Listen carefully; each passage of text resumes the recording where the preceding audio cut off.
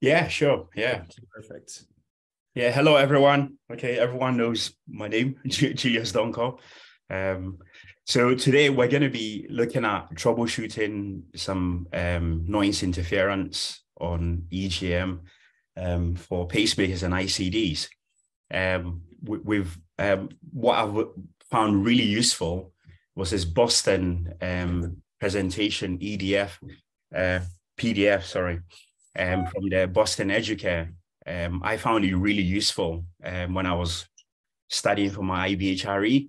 And I thought, um, just like um, AJ was saying in introduction um, in earlier, that it's a universal thing, having noise interference for uh, noise interference on EGM is something that everybody will come across in, in their pacing clinic rooms. So it is important to be able to know um, how the device actually um, discriminates um, noise for you know for ICDs, those with ICDs, um, and um, prevent inappropriate therapy.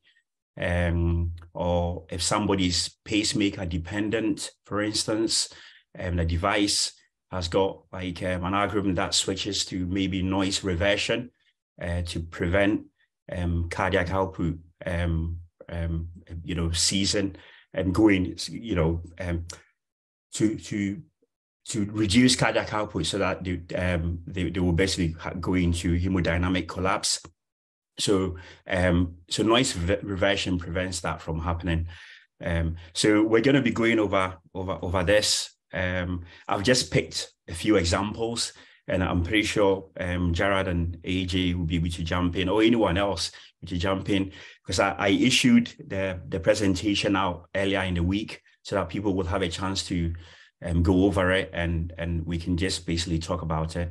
So I've not I'm not going to go through the sensing and the sensing circuit, you know, device pacing and sensing circuit. This is something that you can do in your own time.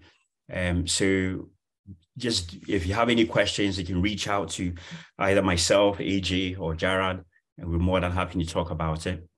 So I thought we would basically go over noise. Um, so noise comes in different forms for devices. So you can get physiological interference, um, basically, which we all come across um, far field um, noise. So for instance, your right ventricular lead uh, will be seen, if you have a dual chamber system, will be seen by the atrial lead. Um, so that that's far field, that's interference on it. And usually devices have um, ways of um, ignoring that, um, even if they see it. So, for instance, Medtronic will have partial plus, um, or you can even um, decrease the atrial lead sensitivity and so forth. Skeletal muscle signals as well um, is one that can come across uh, from a physiological point of view. Um, then you've got electrical um, noise um, which obviously non-physiological ones. So you can get lead fractures, for instance, or during implant um, or post-implant when the lead goes in the terminal pin port, it's not really screwed in properly. That that can that can create noise as well um, on the EGM.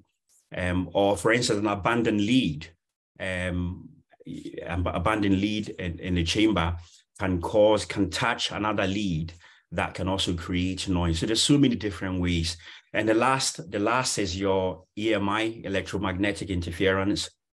Um, so that comes in, there are different types of that. You've got noise that radiates, you've got static noise, static sort of magn- magnetic field or, or um, radiated magnetic field. Um, for instance, one that you get from like your um, electric power pole um, this would be quite relevant for, for Africa um, and um, people who live on farms, for instance. Um, so that, that's quite relevant. Or you can get um, static magnets, which you find in your normal consumer products and, and things like that. So all of these things create um, electromagnetic interference. People are more likely to come across MRIs as well. a lot of device patients with devices often go for MRI scanning. So it is important to know um, what to do when these patients come into your clinic and are referred for an MRI scanning. the other PDF, which I um, I sent out to the group, which shows the Medtronic guidelines for um, giving warnings and precautions on on EMIs, is actually really really useful to have um, either either on your desktop or a printed form in your clinic because you will definitely come across patients who might come across either at home um, some um, consumer product that you're using um, or, or maybe in their workplaces and, and or uh, going to the dentist, for instance, they will, they'll be asking you questions. Um, can we use this? Can is this okay? Is it safe for me to use? So always refer to that. I've always found it really useful because it's, it's, there's a lot of information there that you you can't remember. Um, so have this on hand so that you can always refer to it in the future. Um, but if you've got any questions in the future, you can always refer, you can always ask um, myself, Gerard, um, or AJ. Uh, I like this Boston Educare um, um, presentation because at the end of this, it, it does actually really sum, summarize it really well. Whenever you see an interference, to consider when did it happen?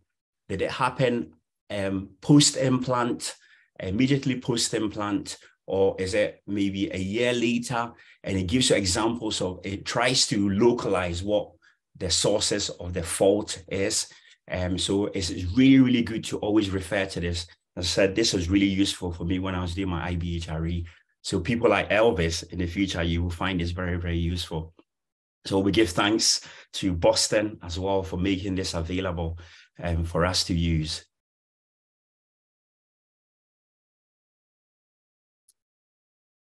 Really quick uh, one thing yeah. i'd like to, to add there.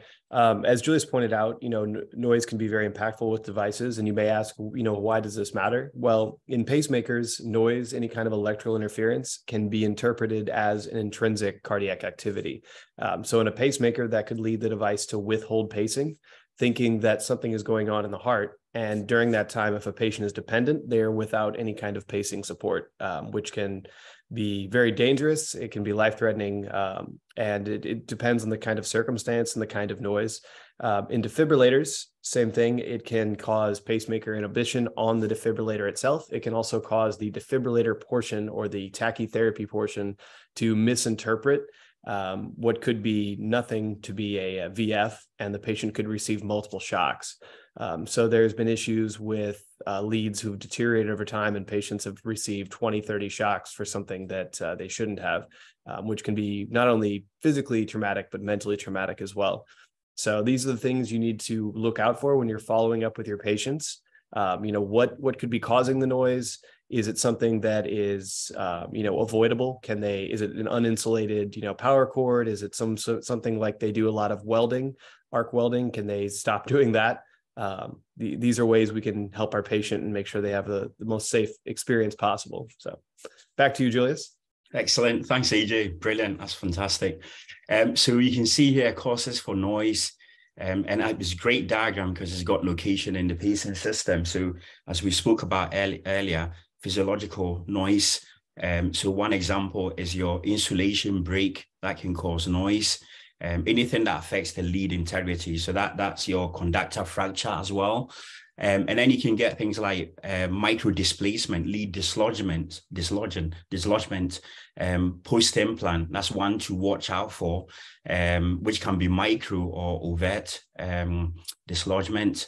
Um, loose set screw, um, again, that can create noise as well. Sometimes loose set screw can have air in there that can also, and uh, um, later on we can see on the EGM, um, if we're not able to go through this, by the way, you should do this in your own time. But later on, you can see there are particular patterns, um, even with um, were air trapped in in in, in the uh, pacing um, and and and this and the loose set screw, it's unscrewed and air trapped in, it can cause a particular pattern on the EGM. Um, and that so these are things, all things to watch out for. So let's go to the next screen. Um, this is exactly the, we'll go over this again at the end. Um, it tells you that hours to days. So if there are issues, what to watch out for leads reversed in the header block, um, loose set screw, watch out for that interference. Um, it's got dislodgement as well, whether that is micro displacement or overt displacement. It's a days to weeks from hours to days to week. And then from months to years, you're, you're looking at um, insulation or lead fracture. So these are all the physiological noises that um, um, you can get with um, creating lead noise on your EGM. So we're not gonna. you've got some in you know exhaustive like EGMs here. We're not going to be able to go through all the different potential sources of noise. Um, so you can see what a set screw the plug is. This is what um, it looks like. And if it's not, you can see some spaces there. There shouldn't be, and there shouldn't be spaces in the seal plug that potentially could draw in fluid or air into the system. And as you can see, you can see a, a good example um, here, um, seal plug leaking. And you can see like a small, um, you can see that um, Boston I've written down there, a small amplitude noise on the shock channel um, um, with noise on the RA channel. So um, you've got your atrial channel and you've got your ventricular channel in the middle. Um, I wish, can you, can you see my pointer there? Yeah. So yes, we can. Oh, thanks, thanks, AJ. So you've got your atrial channel there with a noise, um, small amplitude noise, um, high frequency noise, and then you've got your ventricular channel there, um, and then the shock channel. So, um, so this is the far field channel here, and the noise is happening simultaneously with on the channel is happening simultaneously with the um, shock coil channel or far field channel. So there's something happening between the connection um, between the atrial connection, um, atrial lead, atrial EGM, and the shock channel, but shock shock channel, but um, not on the RV EGM. So it's making you think that maybe the far field, there's a connection between the atrial and the CAN, but and there's no connection between um, there's a there's no connection between so the RV RV channel that's the near field, and and the atrial channel probably might they've not said it here. Um, could, probably could be a unipolar one connected to the CAN, which which the far field is. So you can see that there's a seal plug leaking to it. So um, so this sort of noise is reproducible, re- reproducible with an arm movement and you, you should be able to get it on on your EGM there. Incidentally, you should be able to also get this on your on on on the unipolar on your RA channel. If the if the RA is is connected, the, the configuration is from from tip to um, CAN, which is unipolar. Um, if you move your arm like that, it's also very vulnerable um, to to noise. You can see that on the EGM, which the shock the shock channel or the far field um, also normally is connected to that on, on, on the unipolar. So, um, which is always good. It's almost like your surface ECG. Um, so this example here is a seal, seal plug leaking. Um, so you can see a small amplitude noise on the shock channel coinciding with the RA channel and you can normally do your arm movement, which um, is reproducible. So that suggests like a unipolar connection there as well. Um, but there's a seal plug leaking. There's a connection is not really. Um, there's a plug is leaking. It's not really. There's a, there's a um, there's an air in there. So you you get the noise not on the bipolar channel, but again on the unipolar channel on that. Um, yeah, you can also, as I says, that you can also get this on an insulation damage um, near the CAN. Um, so that that's that's a good example to go with. And it's got loads of examples of seal plug leaking. This is quite it's quite difficult actually to try and isolate it as a seal plug because it, it does overlap with a lot of things, a lot of potential things that can go wrong. Um, so we can see a good example there. One thing um, Julius, you mentioned too, is um, insulation near the can. So, uh, what you can see a lot of times, especially if you have a lot of lead, excess lead in the pocket, is you can have lead to lead abrasion where the leads wear on each other or wear against the can over time. Uh, some cans have a special uh, seal on the back of it to kind of reduce the risk, a special um, coating to reduce the risk of having this can to lead abrasion, but it still happens.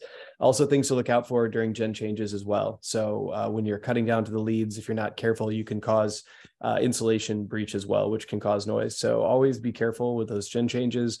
Um, there's opportunities to use suture sleeves or repair kits if need be to repair the lead um, if there is any kind of damage done.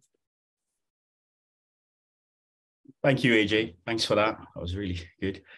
Um, so there are numerous examples on the EGM of different types of like noise that you can get. Um, it's a diaphragmatic myopotential noise, I can see on this EGM here.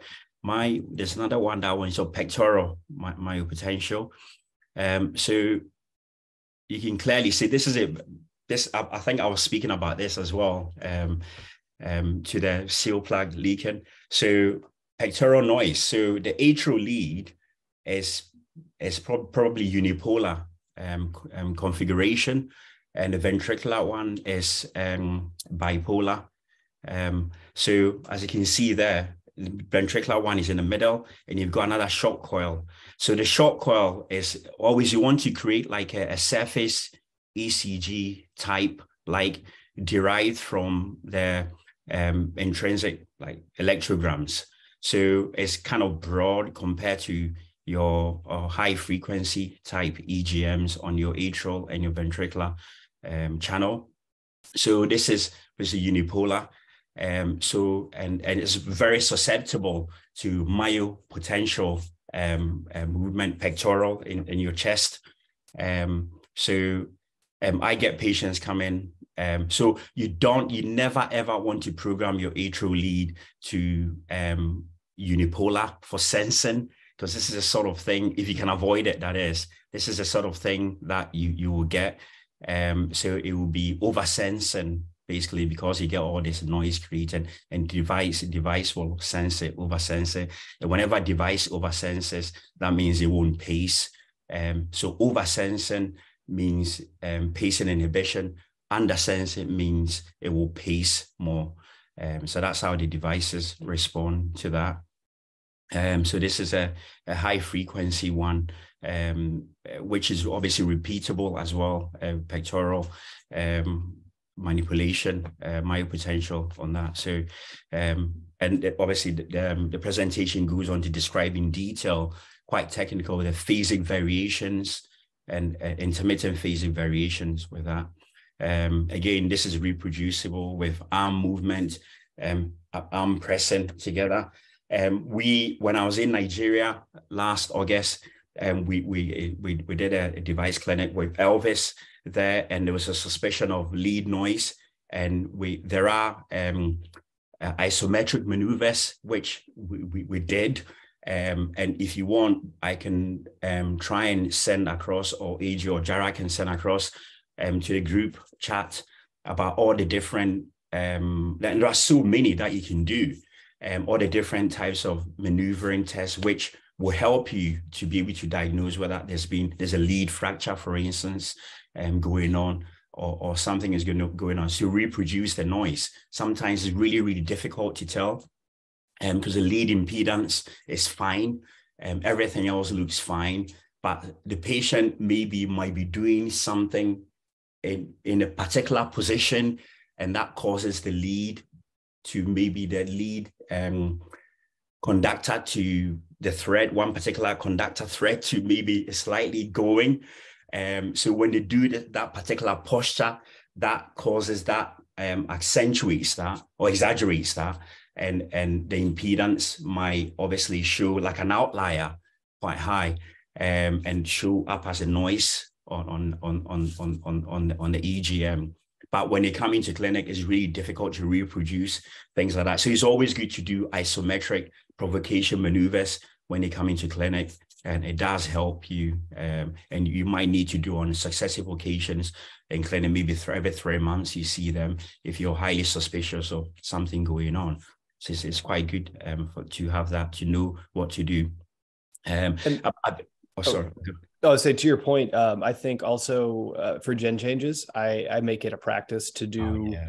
ISOs. So I typically do fists together, pull apart, push into me, pull against me. So you're trying to do every kind of vector you can with the arm.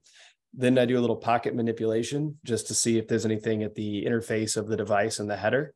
Um, and we're looking with sense amp channels on EGM sense amp channels, which are what the device sees for an Abbott device um, just because you want to locate these things before you close the patient up and send them on their way. If it turns out they needed a new lead, you have to open them back up and the infection risk goes up considerably. Um, so yeah, I, I, think this is fantastic to do it in clinic and then yeah, make sure you're doing it before every gen change, in my opinion. Fantastic, AJ. That's really, really good. So this is doing um, um, provocation maneuvers um, after post um, after box changes it, to me in the UK is not something that we but uh, we tend to I tend to do. Um, but that's a really really good habit that AJ's pointed out. This is something that I'm going to take on board in my clinic as well to do. Um, I think is really prevents um, you know, if the, the, the lead hasn't um, been put in properly, the set screws loose or, or things like that, then it will highlight it very quickly so it can get dealt with so that the patient doesn't go away and have to come back introducing risk of infection and various things uh, and that. So that's a really good point um, something that i'm going to take on board as well AJ it's fantastic. So we, we've done a lot of that so let's go um, let's go to another one. We've talked about seal plug and everything there this is quite an exhaustive. It's got okay connection issue. So I think it was kind of interesting. It's showing the different kinds of noises. So um, you see here, like this is this random random noise, high amplitude. So that's another way you can kind of diagnose what kind of noise you're seeing. Uh, try to take a screenshot of it or a picture of it um, of the EGM, and you can always reach out to uh, to somebody for technical support as well. But that's just ways to kind of diagnose where it's coming from or um, what kind of noise we're seeing. Sorry, Julius. That's fantastic. Yeah. So there was, um, in fact, I tried. Um, I think I'll send it to the group after this. That um, about three or four weeks ago, there was a patient who came in had a, a single chamber uh, device pacemaker in, and um, and it was basically it was showing it was showing a torsade, um, but it was quite difficult to tell. Your initial impression when you see it is that this is noise, but on close inspection, you can see that R-on-T was um, was provoked by um, ventricular ectopic, and but it was the you know it was it, it, just looked like noise when you initially look at it.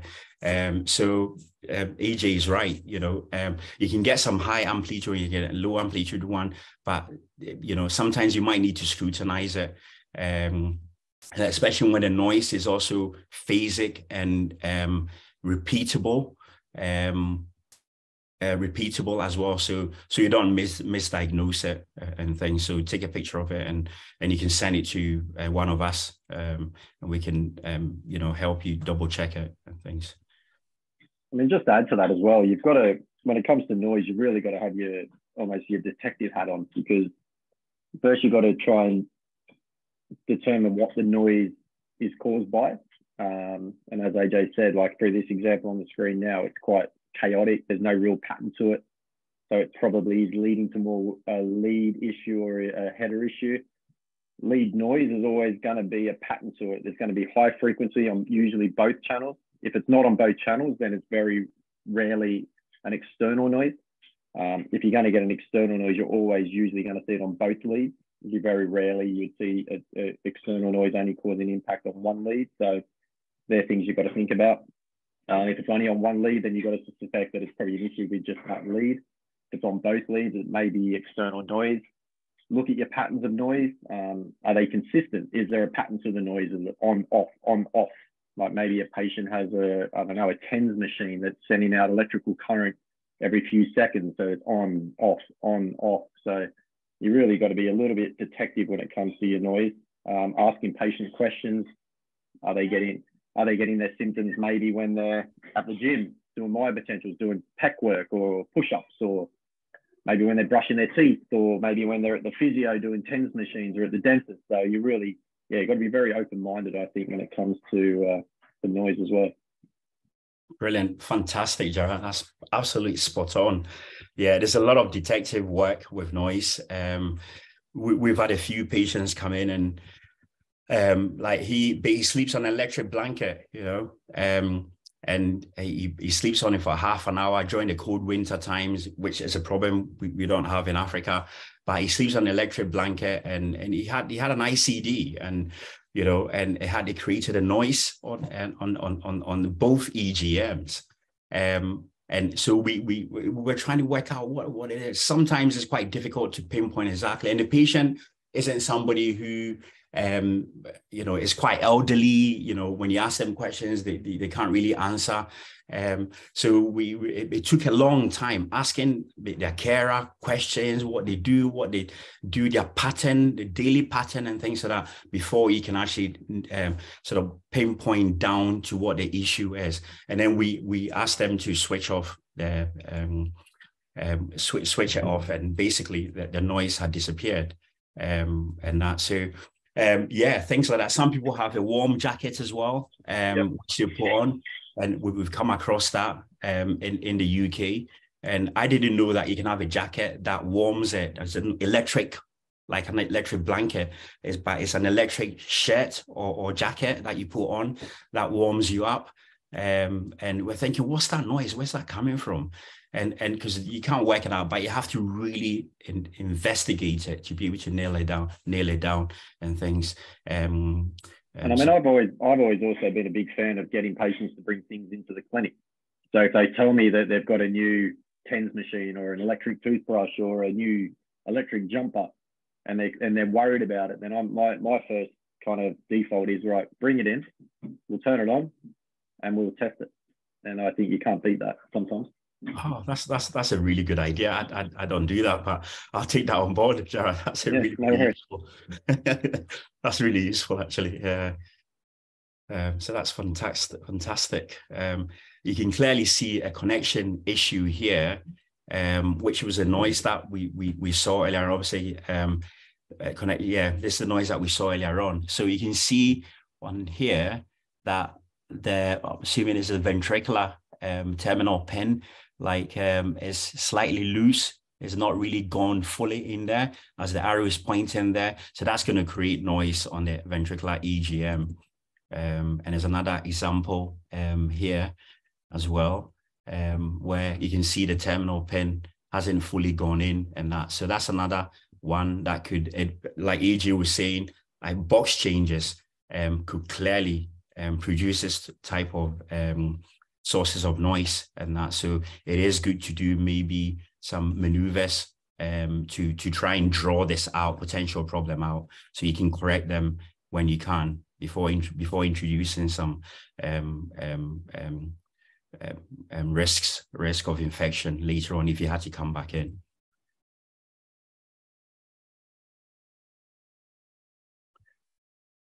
So yeah, this is this noise. This noise here is on the RV shock lead.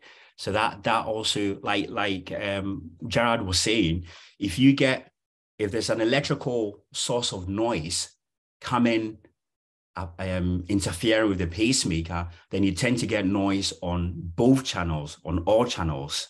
Um, if there's a an as an ice is a is a noise coming on an isolated um, EGM, then that usually indicates maybe there's a fracture or um, a conductor issue.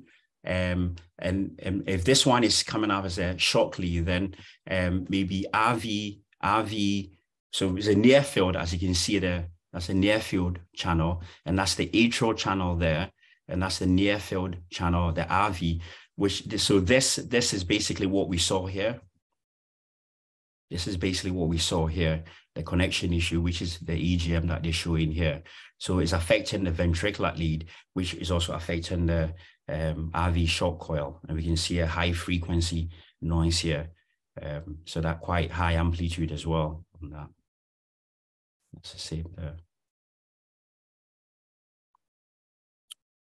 If if we went through the whole thing, it would take a long time. So I'm just trying to go through. Unless while, I'm going through it, or Jared, if you see anything that you think is worth talking about, just stop me and then we'll, we'll basically go over that. Um, just one thing that I guess is that I think we've spoken about this in the past with AJ when he's gone through, uh, especially with Abbott, looking at noise discriminators and things like that. Is that we've always got to remember that if it's a genuine ventricular VTVF episode, then you're going to see it on the near field and the far field EGM. Um, I mean, that can be noise, don't get me wrong. But usually, if you're seeing something on the far field, but maybe not the near field EGM, then it's probably non physiological and the device will discriminate against that. So remember, just you've always got to see for a device to deliver, to think it is a true event, that it's got to see it on both the near field and the far field channel. And something that I know certainly Abbott devices, which AJ will know a lot more about, do really well. And um, so it's just something to look out for that, yeah, if you're seeing seeing noise uh, only on a single channel, then it's uh, hopefully will be well detected by the devices as a as noise as opposed to a uh, ventricular arrhythmia. Fantastic. Yeah, that's great. That's uh, brilliant. yeah, uh, to what Jared and Julius are saying there too, just to to give you some more clarification, I'm, I'm assume a lot of you know, but when we talk about far field, we're talking about the antenna being from the tip of the lead or the coil of the lead, uh, which is more near the RV apex, RV septum, or the you know inferior part of the RV, all the way up to the can, which is up in the chest. Um, so that's your anode is the can itself, and you use that for sensing. That can pick up a lot of myopotentials. So that could be some of your noise issues. Um, it's just a larger antenna in general. So whenever we're talking about a unipolar, we're just talking about a very large antenna, and it can pick up a lot of um, a lot of different signals, and that's why it can be a little problematic and confusing. Just because you see noise on the far field, if the device isn't reacting to it, it's not necessarily you know a bad thing. Just because far field in nature will pick up more external noise or more myopotential. It's more is the device seeing it on the near field? Is it possibly trying to give therapy to noise? That is when it becomes problematic. Excellent. Yeah, thank you for that, um, AJ and Jared. Yeah, for the device, if it sees like a true VT, for instance, if it's picking up and sensing true VT, then you'll clearly see it in the RV channel and also on the shock channel. Um, so that's how it is. But if it sees an isolated um, um, it senses it will senses things in on the um, on the near field on the RV channel, then um, the device discriminator will try and discriminate. Look, it will compare it to the far field, like Jared was saying, and that's how the algorithm with discriminators um, work for ICDs, and they're all different. You know, obviously for Abbott and Medtronic and, and Boston, they've all got slightly different discrimination algorithm, which you can you can learn more about if you want. Um, but yeah, it compares the far field to the near field, and and that's how it does its discrimination. Uh, the way it does it, the Medtronic, for instance, compares the sizes of the amplitude of the noise and looks for the lowest ones and compares the sizes and the, uh, um, the frequency of them. Um, and it looks like a, for a rolling 12 cycles and takes an average and compares it. If it's if it's less than one millivolt, then um, it, it, will basically discard it as noise over. Then um, then looks at it in detail and, and and things. If you if you want to know the algorithm properly, then you can go to the Medtronic Academy, um, which which will explain all the discrimination algorithm for RV lead noise, um, which is important for prevented inappropriate therapy um, if you've got an ICD. Um, inappropriate therapy um, for noise is, is quite is, is, is fairly high, not as high as your um, inappropriate therapy for SVTs, but it is it does happen, um, and with um, ICD patients. So it, it is quite good to always have it programmed on your or your RV lead noise. I think Jared went through it uh, quite a while back again that um, the Medtronic one is set to run about 45 um, seconds um, and it will basically um, shock if the noise continues for more than 45 seconds, which is very rarely happens, very rarely happens for that um, to go on um, for that period and that. So because um, it tries to prevent things that if it's sensing some some something for that long, then it must be like an intrinsic arrhythmia. So it's a safety thing that it shocks and that. So Medtronic have their nominal settings at um, 45 seconds um, that you um, put it on, but some people actually have it off. Um, but it depends on your department protocol, what, what you want to do. And that is a good thing to have on, in my opinion, though.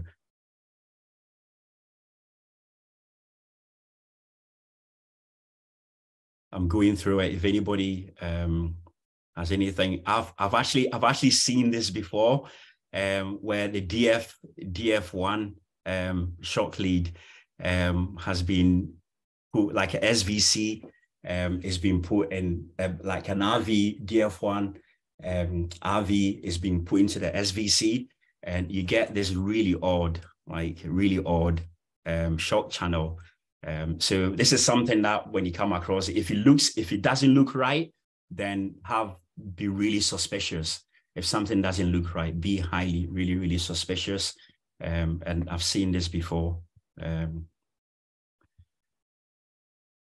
yeah, it looks like if you looked at that actual EGM, it's picking up the atrial signal quite a bit more. Yeah, um, yeah, so you can right. see it corresponds with the atrial sensed event on the far field channel. And then it's also picking up the RV event as well, but it's a smaller amplitude because the SVC coil is sitting up near the atrium or SVC. Um, so that's why you're getting a lot more atrial activity, just to clarify what you're seeing in there. Yeah, fantastic, AJ. That's good.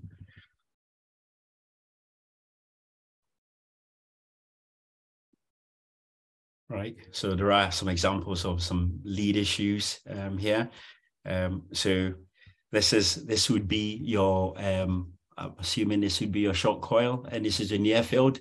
Um, and it's sensing it there. You can see how it's over sensing in, in the VF zone and you can see V sense VF, VF, VF, VF, VF there, uh, and that. So this is this is clearly noise, high frequency, variable, um, like amplitude. I'm sorry, yeah, variable amplitude there, um, very high amplitude, um, and very intermittent, and that. So th- this is probably a conductor. Is they've said a conductor fracture there. Um, so this is typical of a conductor fracture, where you you see um, very high, like variable um, amplitude um, and very high frequency as well. And it's quite like unpredictable on the EGM. It's just quite sporadic um, and things. So this is something that you should highly be suspicious of a of a of a conductor fracture, lead fracture. Um,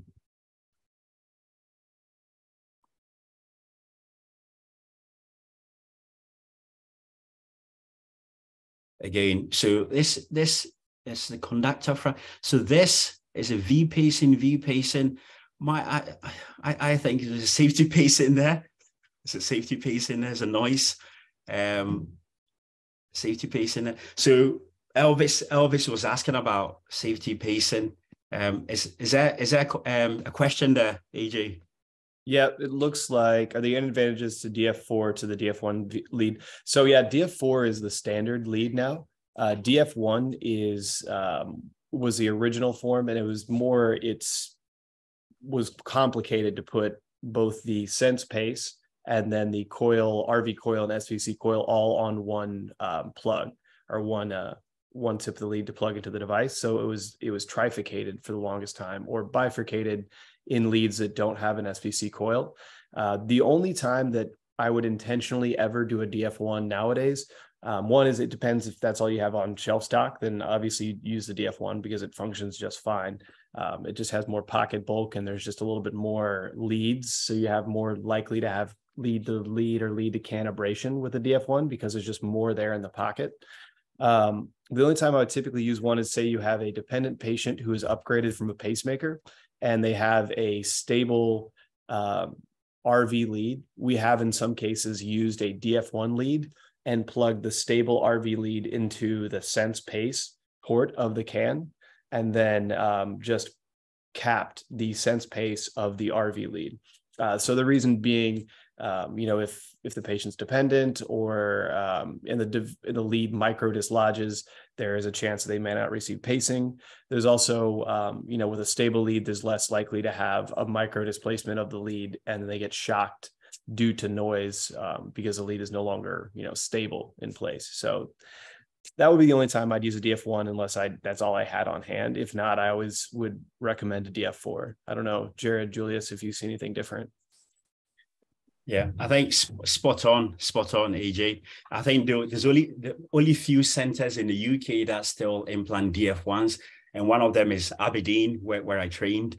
Um, and for exactly the reason that you've explained, they, they seem to think that um, it just gives them more options because they also do a lot of um, congenital patients who come back um, um, we had an electrically isolated patient, you know, electrically um, patient with an electrically electrical heart isolation. So the RV was separated from the LV because um, I think the RV was causing a lot of RVOT um, problems and, and it was isolated. So what they found was that because it was a DF1, he gave them so many different options, whereas a DF4 would not have given them that option. And he had a CR, he had a he had a, a bivent system as well.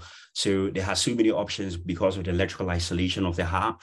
Um, so for that, but the potential risk of that is that um, because there's so many leads in the pocket that you could um, have like an infection risk um, and things. And and um, so things like that. So really, really value point. Um, I'm just looking at this EGM. So I think the devices detected noise and actually started ATP on here and started to actually um, offer therapy. So this is an inappropriate therapy because of the lead fracture, conductor fracture there.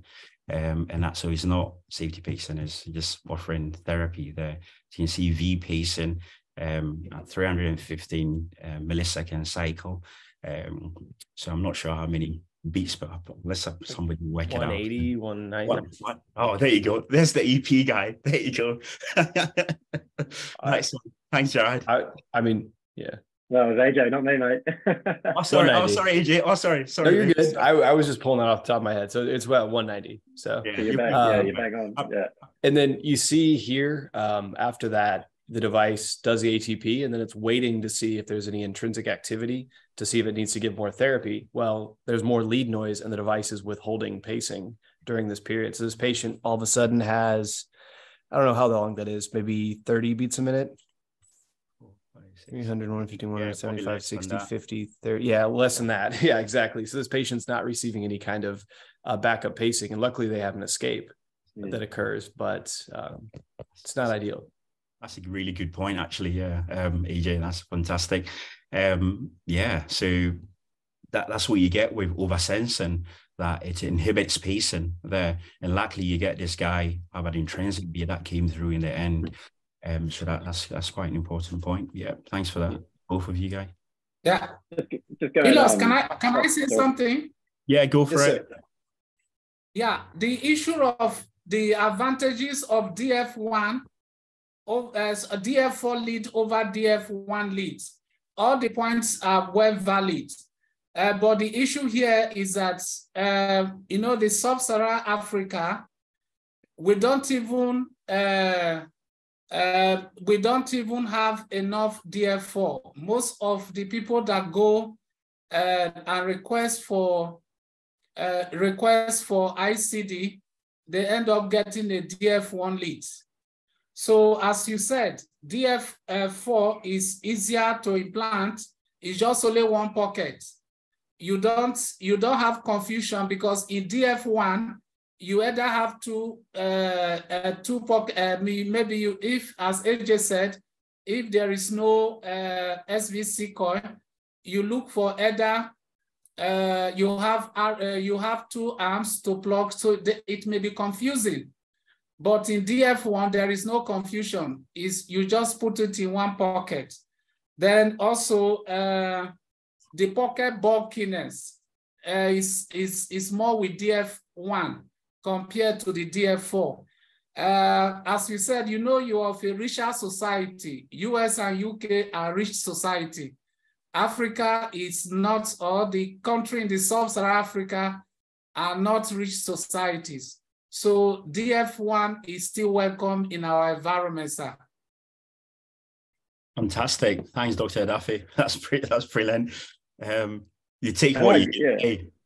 Yeah. Sorry, Jared. That, no, no, sorry, man. And that's a very valid point that Dr. Adafi makes is that, yeah, yeah, we might be privileged in the UK and the US and, you know, other countries like that where we can put in these kind of newer model DF4s. But I mean, as nice as they are cosmetically and, um, you know the engineering behind all these leads. It's, it's fantastic. Yes.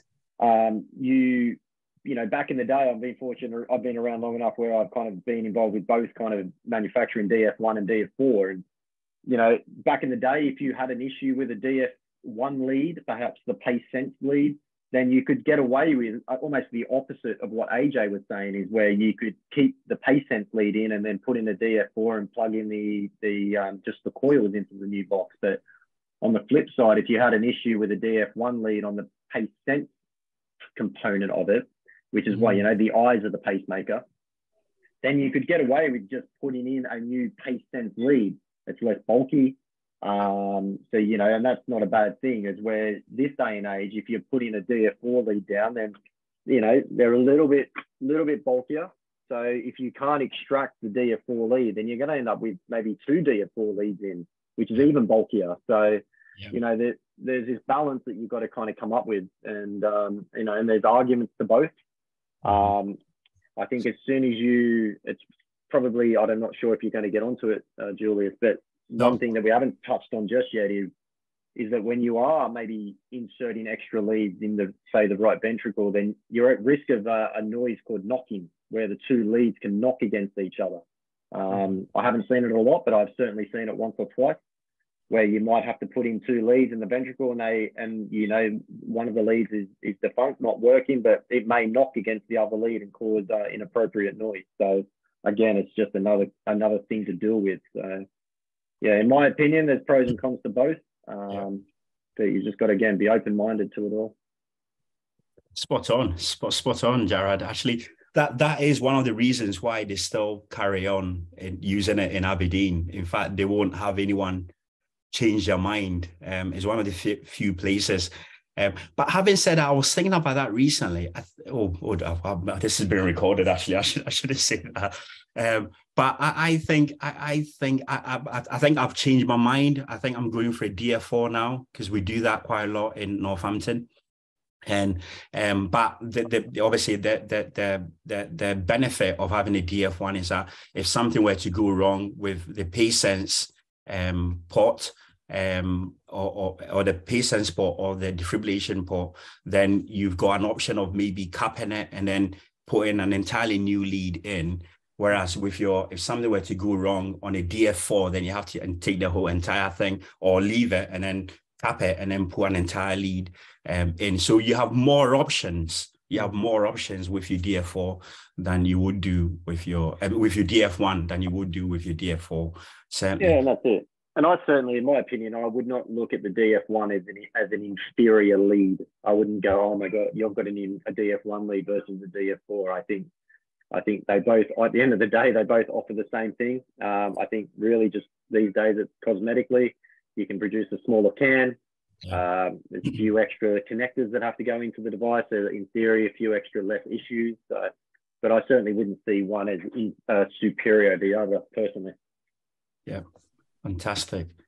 Yeah, so that that that you were talking about abandoned lead and another lead being implanted, so that can create like a crosstalk where it will oversense and um, like Jared was saying, crosstalk can obviously when it oversenses on on the actual um, um, RV lead can obviously um, cause pacing inhibition or, or withhold tachy, um, well, in fact, inappropriately treat um, and oversense um, um, um, rhythm and end up like giving the patient an appropriate shock and that. So you can get that with an abandoned lead.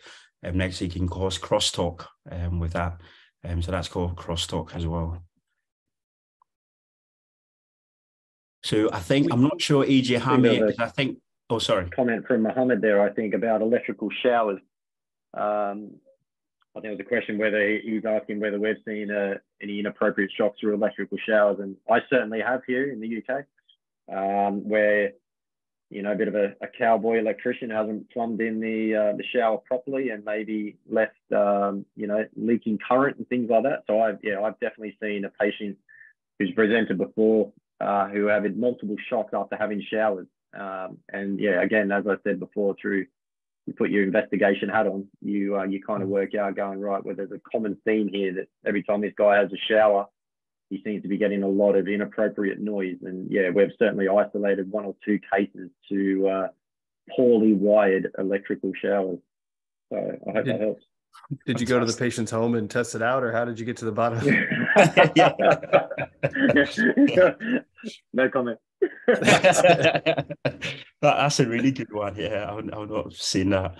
Um, yeah, so a, a, big thing is you know not being grounded too. So yeah, as as uh, Jared pointed out, um, you know grounding is is a big issue, and will you see that in? Um, I've seen it in a in an implant procedure where they had an LED light to make up for lack of lighting in the room, and they didn't properly ground it, and it was causing noise in the device. Um, so grounding's a big issue. If you're having issues, you know, with with anything in a procedure, you can try turning things off. Obviously, nothing that they need to sustain their their uh, their life ongoing, but anything that doesn't seem necessary, try flipping it off, and that may be your your culprit. Yeah, fantastic, guys, fantastic. So this is another good good thing to look at when somebody comes in with a conductor fracture with conduct, conductor fracture, obviously you're going to be getting a really high impedance. So look at the trend, the impedance trend. And you can see here is a really good example here. The impedance normally is fluctuating between 700 ohms to 940. You get a spike there. Um, but then from about June 2010, you get all this really high impedance, like all of a sudden abrupt, dramatic change in impedance up and down, up and down, and that that should arouse your suspicion that something definitely is wrong. And and obviously, might, the EGM might suggest that as well. Um, um, and that's so the shock impedance is fine, is within normal range, so that's good. Um, and that's so sometimes it's always good. It's always good to look at the the the the ventricular, um, obviously the ventricular EGM. Look at the sense and intrinsic amplitude as well. If you have the trend, if there's any sporadic like behavior patterns um, with that, and also look at the shock impedance as well. Um, if there's any, you know, sporadic behavior, you can always isolate it. If you do have like a trend, it's always good to have the, the trend um, enabled so you can actually see um, a pattern over six months or a year. Uh, really, really helpful when you're trying to make trying to make diagnosis if something is wrong. So I, I would definitely encourage that um, certainly. Um, right, I'm not sure how much time I have. Um, I know this is is quite a lot, um, AJ, because I know you've. I don't know how much. It's seven o'clock already. seven o'clock already. Yeah. Uh, um, no, I think that's good. Uh, if we have any other questions, we can, you know, feel free to reach out in the chat or reach out to us directly. Um, I think these are fantastic. So I think you set these slides out. So please just look through it on your own. And these are some really good examples. You can see there as a conductor uh, looks like insulation breach. Um, insulation breaches, you'll see drop in impedance suddenly or over time. Um, conductor fractures, you'll see sudden jumps in impedance. And remember, just think of it like a hose. If there's a hole in your hose, uh, then the water's escaping outside, so you have a drop in impedance. If your hose is kinked, then you uh, the water won't flow, so you have a higher impedance. Uh, slow rise in impedance is an indicator of uh, lead mineralization or things like that at the tissue interface. It could also be um, scar onset from MI, anything like that. Um, so if you see slow changes in impedance, that's something else. Uh, rises in impedance that that can indicate something other than a lead issue.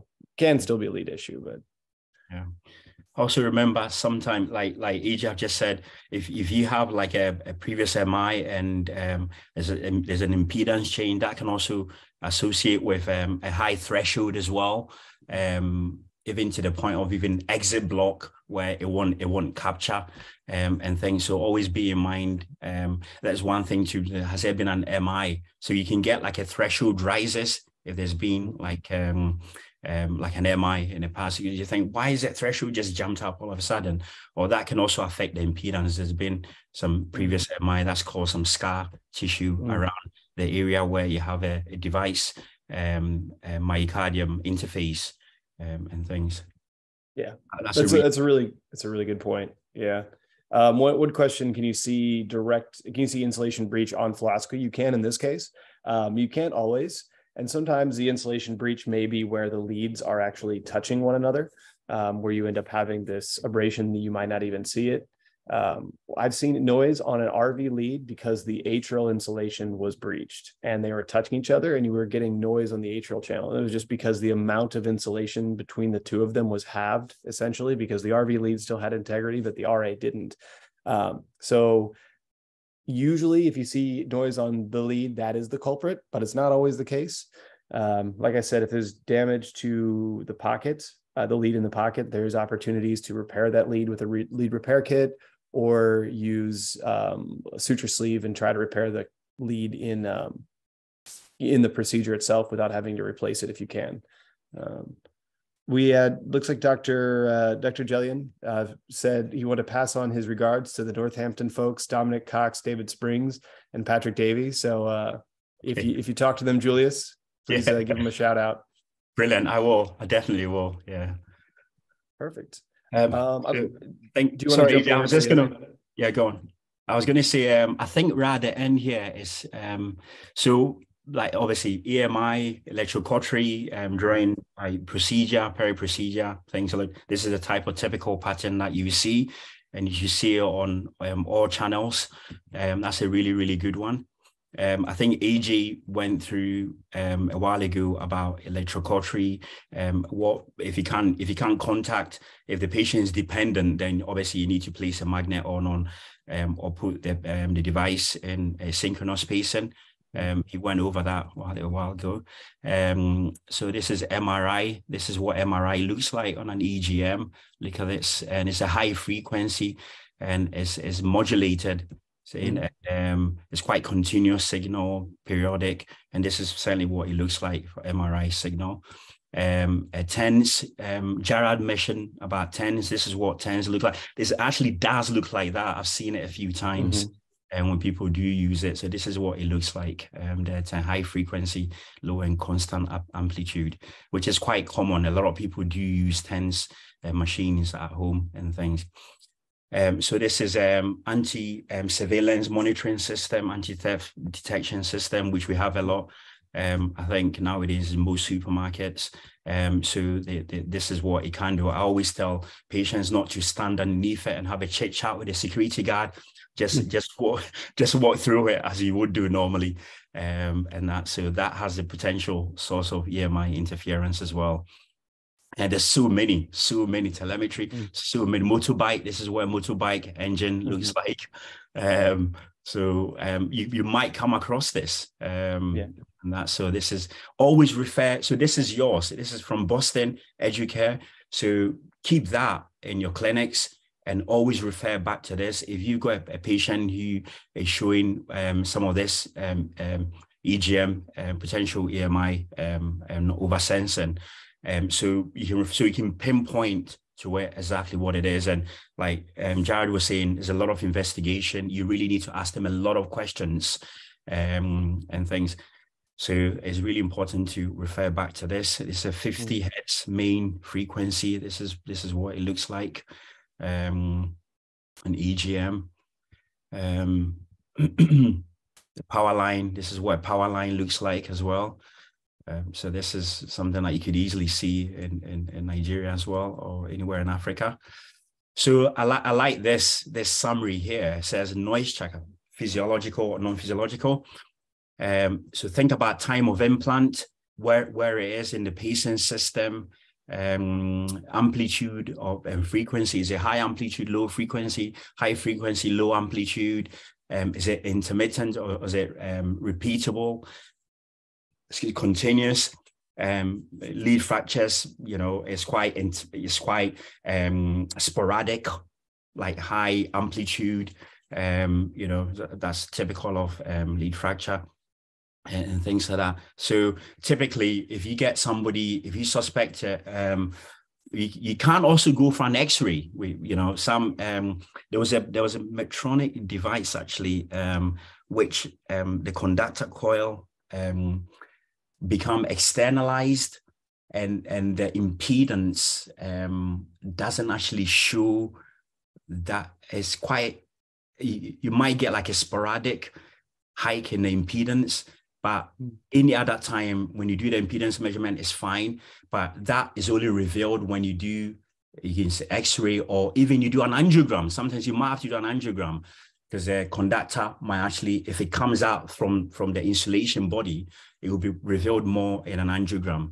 And that so don't forget that you can also use an angiogram sometimes to help if you think there's a um, some kind of fault with the lead. Um, it might it might help it might help. But your typical, we do X-ray, do all the isometric provocation measurements um, and things to try and um, you know delineate what where where the fault is and things. Um, so I think that's really it. Um, yeah. So um, uh, sorry to, to cut you off just because we only have about 20 minutes left. Uh, maybe jump over to the LV lead talk, and then we can just save the uh, quiz for next week if that works for everybody.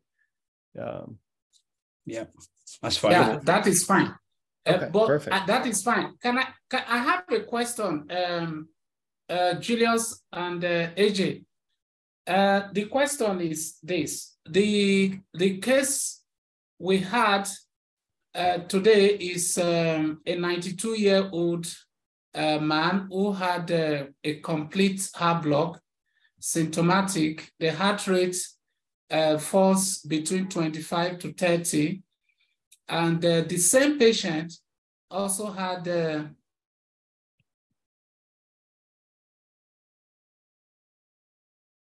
did, did we lose you, Dr. Dafe? I think we have. Yeah. Can you hear me? We got yeah. you back. So yeah, so the the he had an, an advanced less uh, left breast CA.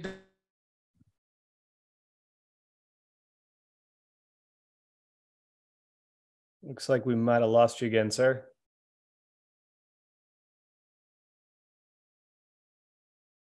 So uh, in the meantime, while we wait for Dr. Duffy to get back, I wanted to thank Julius. Uh, that was a fantastic presentation. We really appreciate you going through that with us. Um, it, it's really it's great to see these these firsthand examples, and I'm glad that uh, our friends in Boston were able to provide us this uh, this educational talk. So um, if you have any questions, reach out to any of us to to talk you through it and help out. Like I said, noise is not an issue until it's an issue, and then it can become a big one. So uh, just let us know how we can help. Can uh, everybody see my screen? Yeah, mate. Loud and clear. Yes. Okay. Perfect. Okay. So really quickly, uh, we, next week we have Dr. Uh, Sharif and Dr. Kuro doing their talk on LV lead placement. So we think that it might just be good to look at the different LV leads available that you'll most likely see. Uh, this is not going to be comprehensive. It's going to focus on Abbott and Medtronic, and then also some of the LV lead delivery tools. So um, when we talk about our left ventricular lead, remember that we're getting access to the coronary sinus. So it's actually in the right atrium. It's following the CS up and around, and then we're going for a, uh, a lateral, posterior lateral uh, position um, generally. So the original LV leads were unipolar. So they only had one electrode, and then it was it would either go to the can or usually to the other lead. Um, this did cause issues with anodal stim and still can be an issue, but just to be aware, anodal stim is where you're actually capturing at the site of the anode and not necessarily capturing at the side of the cathode, leading to either simultaneous RV LV pacing or uh, non-capture in the LV and just think you are, which is not ideal. So the original were unipolar only. Later iterations offered bipolar uh, options where you could actually go tip to ring or ring to tip. Uh, these are still manufactured, but they're not as common. You don't see them as often uh, implanted. Sometimes implanters will use them because they're a little smaller, um, but the French size difference is really not um, impactful enough to sacrifice not having your four electrodes. So the quadrupolar lead came out in the early to mid to uh, 2000s, 2010s. Um, so it's been around for about 10 years or more. Um, and it allows you to pace from multiple sites, either to go to the coil, uh, to the can, or bipolar options as well. Just remember that anodal stim is, is a potential risk. So if we're looking at the Abbott leads, you have the Quartet. Um, we tend not to use this one as much. This is actually um, was made for people who are very used to the Medtronic um, design. So it was kind of a way to uh, for them to use the the design they're used to, but using an Abbott device. Uh, the typical is this S curve here. So your 1458 is your standard. Your 1456 is um, going to be a tighter a little bit tighter of a curve and the spacing is not quite as much. So you're looking at 47 um, millimeters of spacing from tip to prox, 40 from tip to prox, and then your 1458 QL will give you 60 uh, millimeters of spacing from tip to prox. Uh, the reason with proximal, just to uh, the reason being, say, if you're in the um, left ventricle and you're near the apex, you may want to have a more basal electrode positioning. If you had the shorter spacing, you may not be basal enough. You'll be more apical. Um, on the inverse, if you're in a very shallow branch, if you have the wider spacing, your proximal electrode could be outside into the main body of the CS and essentially useless. So if you have the ability to pick the right lead, it gives you some customizability based on whatever branch you're going for.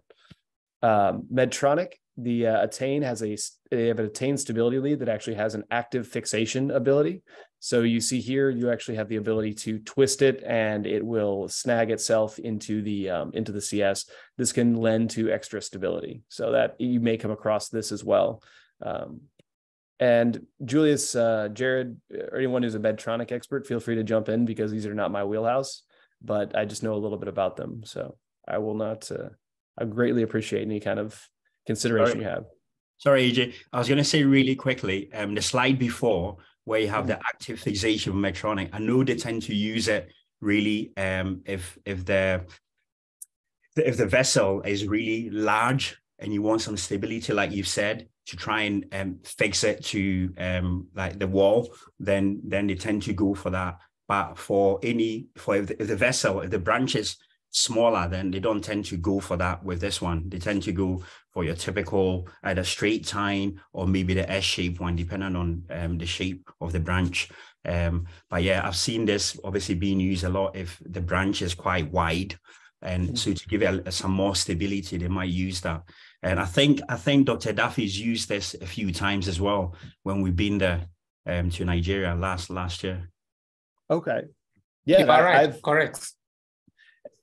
Perfect. And then here's uh, an example of the one without the fixation. This actually looks like it has like a passive fixation ability to it.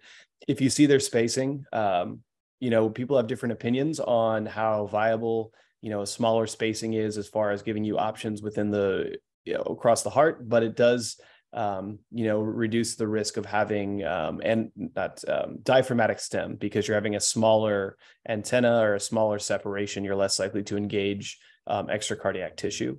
So I think that is one of the reasons why they went with the shorter spacing. Um, so yeah. Then we have delivery options. So you have your outer catheters.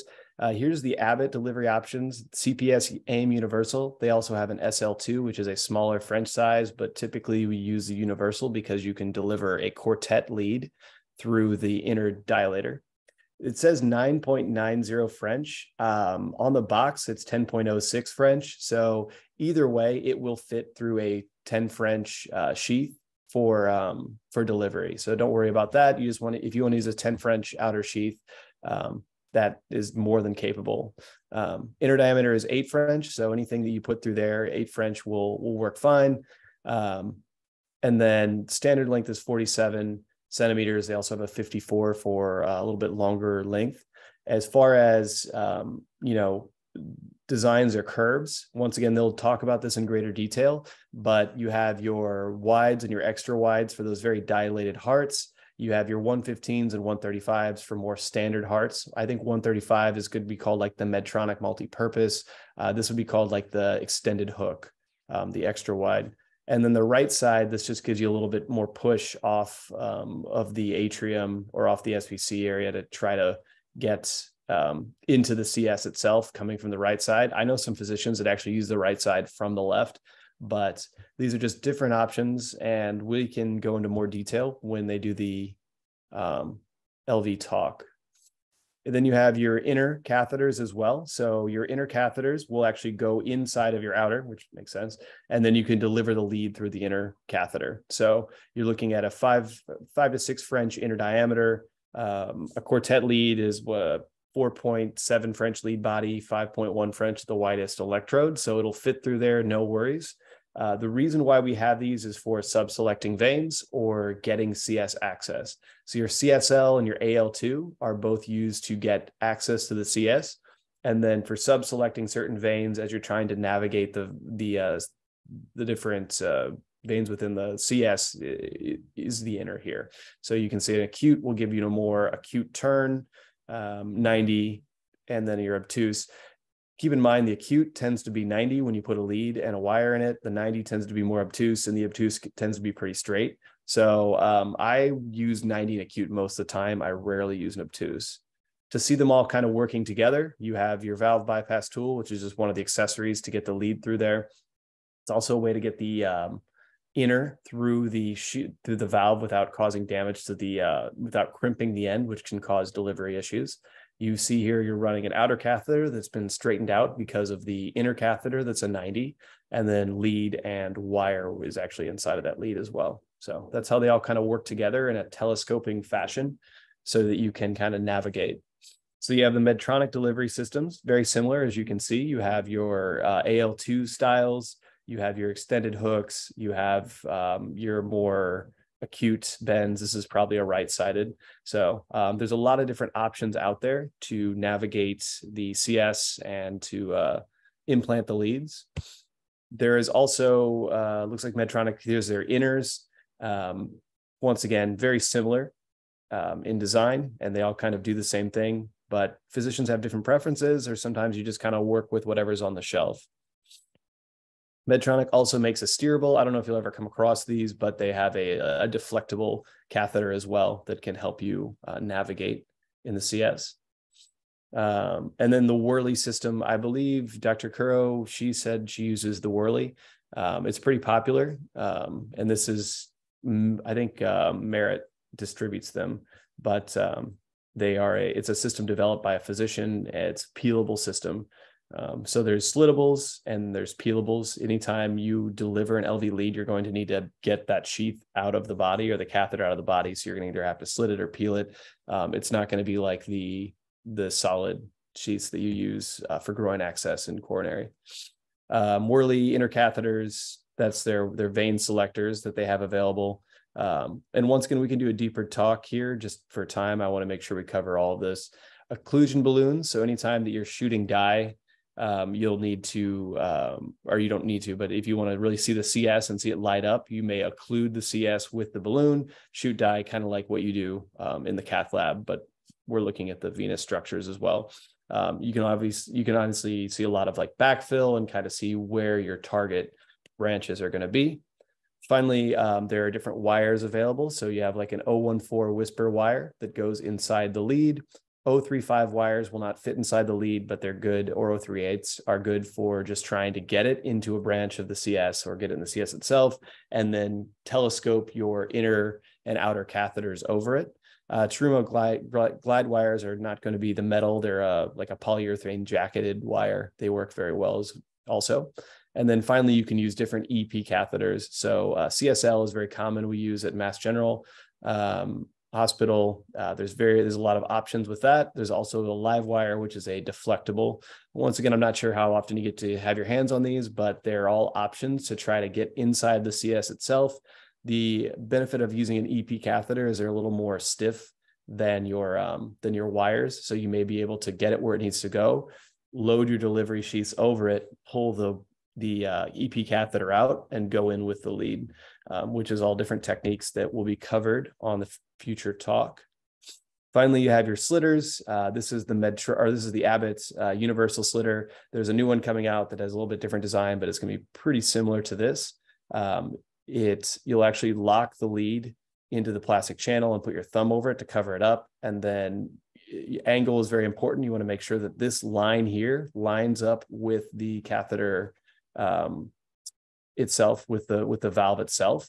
So we usually just kind of work our way past the valve very slowly wedging it back and forth until we get to about here. And then it's one solid slitting motion. Same thing with the medtronics. This is their um their uh, their different adjustable slitters that they have. They're universal and they're adjustable. Just remember when you're slitting just to keep going um, if you stop and pause and take a look, you can the lead can become unseated, it can get caught, and the whole system could pull back.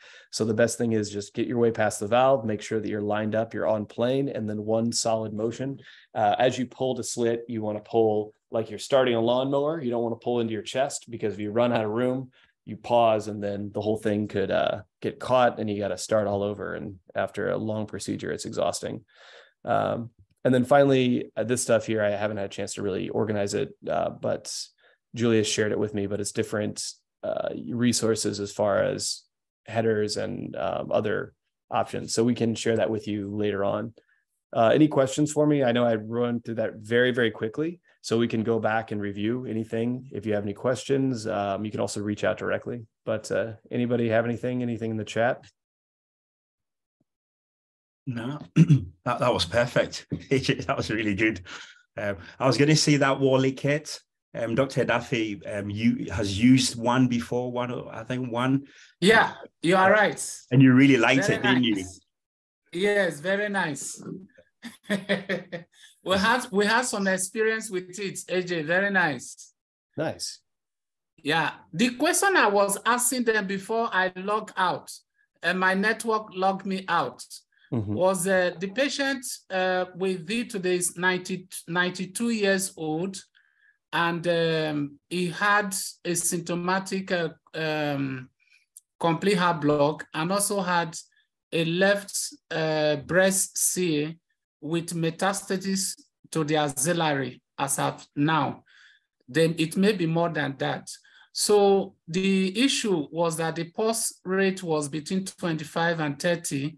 So the, the surgical team refused to take the case, uh, insisting that until the pulse is corrected, the case will not be taken. So I had a meeting with the surgical team and uh, they want to do um, a modified um, um, radical um, mastectomy for the patient. So what uh, I now ask them, okay, this is uh, traditionally, I take the left, uh, below the left clavicle. So now you are going to do a modified uh, radical mastectomy Or what extent? So the question is that they said no, uh, no, they, they don't know the extent yet because uh, they would take as much of that tumor as they can go. And also they are also going to use a diathermy. So uh, we now decided that we should uh, take the, uh, the device from the right so that we avoid any close by um, uh, contact of uh, their procedure and the device. So mm. that was why we went and took that device from the from the right. So the mm. device has already come in, has been implanted, a dual chamber pacemaker. Uh, the the uh, the patient is doing great. So with the next point is uh, when they are going to take the uh, the mastectomy, because the mastectomy will extend the whole of that left breast we go and extend it down into uh, more much of the subcutaneous skin above and below and extending it into the axilla and take much and debulk as much as possible. And also being that the man is uh, already 92, uh, the surgical team and the oncology team, they are thinking that they don't want to go into chemotherapy. I left that option for them because it's an it's the option of an oncology team. Uh, they are the expert in it, so whatever. So the question, AJ, is this: um, the, the during Julius' presentation, he talked about the issue of um, of um, uh, of um, of diathermy uh, having um, the device keeping up, sensing all this. So what do you advise? Uh, what advice you think? Because we are still going to meet within the week talking about this case. What advice you think we should offer uh, or we should uh, add to already existing uh, um, pattern of the teamwork? Hmm. Um, I, so you know, it sounds like you're already you you spoke about going you know right sided. I, I think that let, let's have a conversation offline on this one because I'm not. I'd like to see the case a little better and and talk through it with you if you don't mind, and then we can present okay. to the group to the larger group what we've discussed. I guess if that works. Um, and we just post what we what we thought to the rest of the group once we've talked it out. Yeah, the the the the no diathermy has um before now uh the there are bipolar diathermy, there are unipolar diathermy. So uh, bipolar diathermy are better in terms of uh, electrical sensations. Mm-hmm. Uh, in terms of electrical sensation, because this is a patient who is uh, who had a complete heart block, and when the pacemaker came in, the patient is now pacemaker dependent. The heart rate as at the time the FV lead was implanted was around 20. So uh, automatically that patient doesn't have a good underlying reading to mm. maintain uh, its uh, to maintain himself. So mm. the issue here is that if we are if we use um, if we are so liberal with diathermy or we use unipolar diathermy where the mm -hmm. the, the the the device now senses that the heart is picking up sorry, is firing his own device, not knowing that it's sensing something different, that will bring, bring a problem during the surgery. So I told them that uh, the least we can go with is um, is a bipolar diet, uh, diathermy. Uh, the, because they need that diathermy to maintain that level of surgery and also uh, maintain bleeding because they need it to um, uh, to coagulate the vessels as you cut through in the process of the surgery. So mm. that is one of the main issue. Then two, I also left that side because I don't, um, as we're discussing, even they themselves don't know the extent. Because when you are implanting a device, you implant it maybe about two cm below the clavicle. But this is, uh, they are planning that they are going to take a very chunk of that skin out and you'll still need to create a flap to close back whatever that remains. So that may affect the device. Uh, so that so totally that area is not a uh, is not an option to implant a device before the uh, the surgery. So if mm. we take it in another day, I think uh, uh, more options can also be made available. Maybe Julius and um, and uh, and uh, Jared or any other uh, person. Also, Mo, Dr. Mole is here. Dr. Mole is here. Maybe he must have had one or two experience on the issue of um, um, uh, uh, uh, implanting cardiac device before uh, before um, mastectomy and what form your choice of what part to use and uh, why do you use that? And what do you advise the surgeon to uh, to do during the because the patient will definitely be on on a GA and no surgeon will give a GA when uh, general anesthesia when the pulse is uh, when the pulse rate is around 20 25 it's yeah, once that patient come into GA that patient will not definitely survive it. So that is one of the reasons for us to get the device on board. Then after the surgery, what should the cardiologist do? So these are all options that are left for the group to make very good comments so that we can have a very optimal management of this patient. Yeah, really quickly. Dr. yeah. Oh, sorry, you, you go, mate. No, you go. Now, I was gonna, I was gonna say, can you not put a temporary wire in in a patient? Well, am, am I understanding you correctly? That the has a patient got a device already but the device is no. The patient never had a device. The patient presented with uh, symptomatic heart block and also advanced left breast CA. The patient mm. never had any device. So I had a meeting with the team, uh, with the surgical team, who are now advised that they cannot go ahead with the surgery.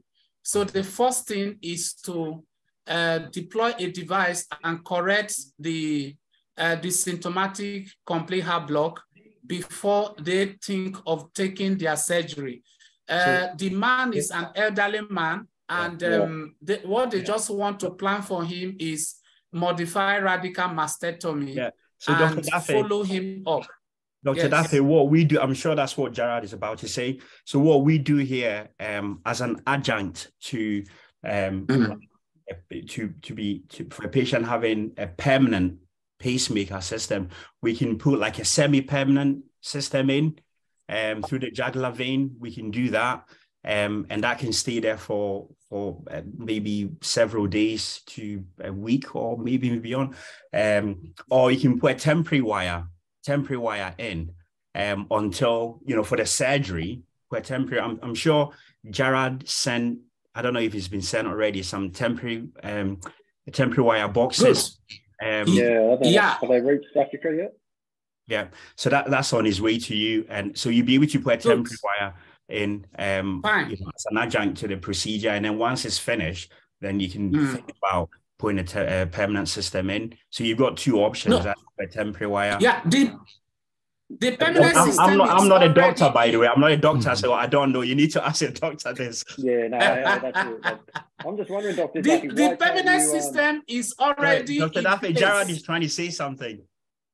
All right. No, no, no. Ahead, he's more important Dr. than I am. Oh, sorry, sorry, Jared. uh, sorry, gentlemen. Sorry to interrupt you. Um, I, I, do have to hop off into another call. Um, are we? Are you all right with taking this offline, and then we'll present to the group, uh, like as a case study? Is that okay with everyone? Yeah, sounds great. Sounds Fantastic. Great. Thank, okay. Thanks, yeah. Sorry, Dr. Duff. I don't want to cut you that off. That would be great. Okay. Yeah. Let's let's chat about it. Let's organize a chat. Yeah, that'd be good. Yeah, perfect. We'll have, we'll have a conversation on the side, and then we'll get it all figured out thank you everybody for joining. Sorry to cut you off, Dr. Dafe, but thank you, Jared. Thank you, Julius. Thank you, um, everyone, thank for your you. contribution. thank you, everyone. It's uh, it's been thank great. You, thank you, thank you, thank you, thank you, thank you. Thank yeah, you. great day. Yeah, Dr. Julius, great day.